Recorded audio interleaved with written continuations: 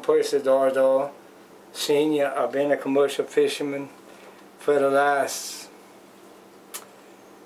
I say 59 years, 58 years. What we're here to talk about are, are called bigorneaux down here. It's the same thing that's called a conch elsewhere, and it's what biologists, scientists, and so forth call oyster drills. Oyster drill, yeah. Yeah, these are actually predators of oysters. It They- is. Yeah, they have a rasping tongue that'll drill Yeah, right they'll, first. uh, they'll stick, that hard spot, it'll stick to the oyster, and they'll drill a hole clean through the oyster shell. Oystermen don't love them, but they Uh, are good to eat.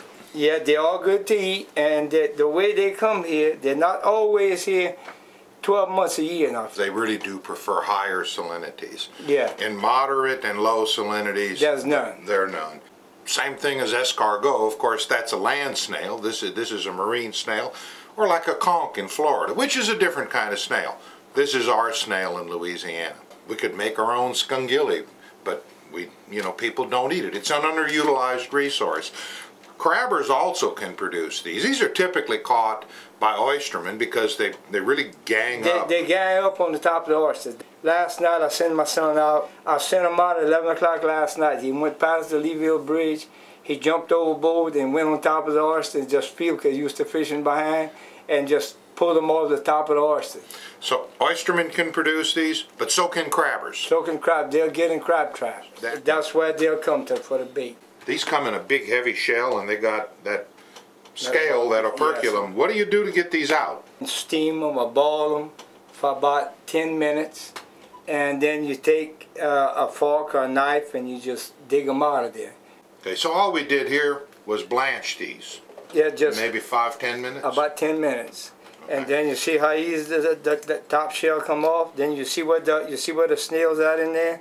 You just stick them with a knife and you come right out. They come right out easy. You just take that hard piece off first.